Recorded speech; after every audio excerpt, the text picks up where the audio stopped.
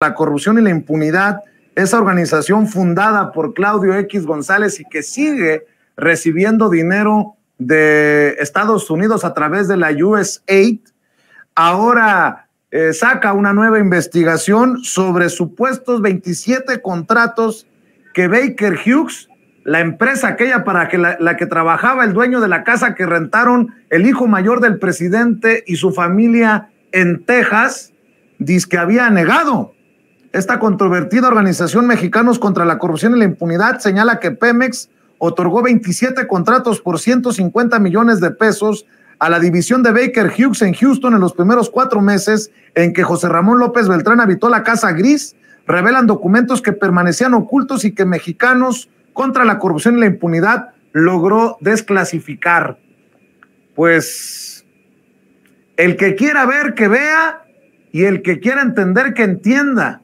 Lo hemos venido advirtiendo por mucho tiempo y empieza desafortunadamente, hay que decirlo, a tomar forma este lawfare, esta guerra híbrida, este golpe blando, de la mano de estos voceros.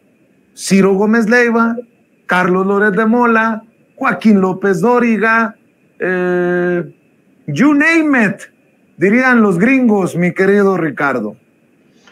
Sí, estos embates van a seguir de manera constante. Ya el propio Ciro Gómez Leiva dice que sugiere que se podría retirar, lo cual yo honestamente no creo que sea de esa manera. Definitivamente estos personajes están enfrentando en toda su carrera lo que nunca habían enfrentado, no a un presidente con poder, porque ese presidente pues eh, fue Carlos Salinas de Gortari en su momento, eh, otro presidente que tuvo bastante poder y que rompió de cierta manera con el salinismo, pero que acumuló un gran poder e incluso hizo esa negociación con el PAN, que fue Ernesto Cedillo. Esos eran presidentes que les tocaron a estos personajes, le tocaron por lo menos a Joaquín López Dóriga y a Ciro Gómez Leiva, pero no les había tocado un presidente que labrara su propio camino desde el pueblo. No les había tocado un presidente que pensara por sí solo, un presidente que tuviera política social, una política social que no recibiera órdenes ni del extranjero, concretamente de Estados Unidos,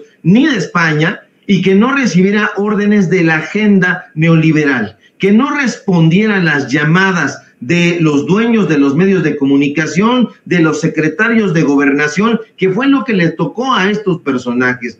Y estos personajes están enfrentando el mayor desafío en su carrera periodística y se han dado cuenta de que son pequeñitos, de que son ínfimos, de que son microscópicos. ¿Y a qué me refiero? Como no tienen una formación sólida como periodistas, no han podido enfrentarnos con las herramientas y con las armas, las armas del periodismo que este ejercicio siempre exige. Entonces han tenido que recurrir a las eh, tramas. Eh, a las tramas, a bajas, a los golpes en las costillas, a las calumnias, a las fake news, a los montajes, a las mentiras, y ni aún así han podido. Y como no han podido, se ve, se huele, se palpa su resentimiento, han sus jefes, como ellos no han podido, han tenido que salir a comprar granjas de bots para tratar de desacreditar al gobierno y a quienes ellos suponen